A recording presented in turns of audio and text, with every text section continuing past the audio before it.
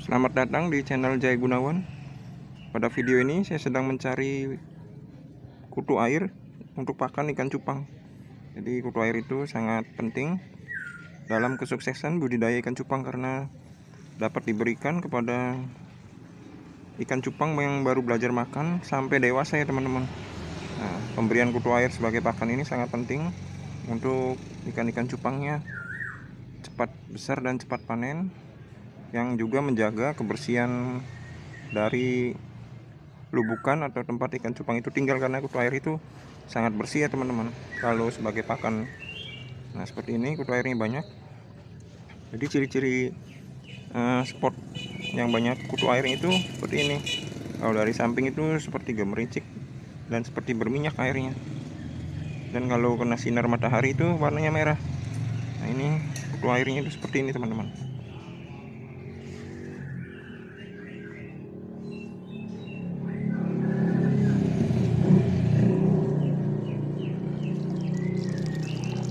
banyak sekali ya teman-teman ya kutu airnya berlimpah.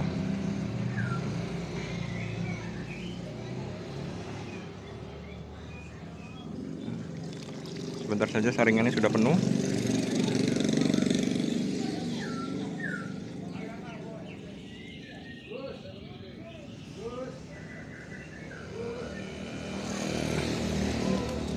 Ya sudah full nih sebentar saja saringannya saking banyaknya kutu airnya teman-teman